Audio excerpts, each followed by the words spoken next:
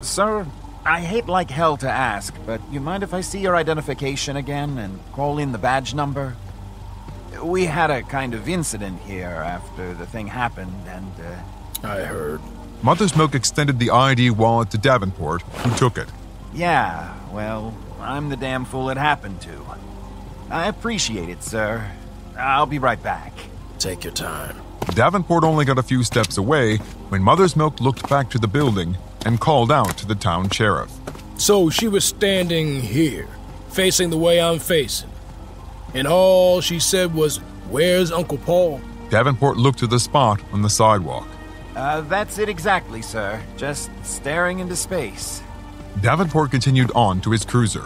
Mother's Milk stared at the shop before him as a night wind blew about his overcoat and a few leaves tumbled across the square and down the sidewalk.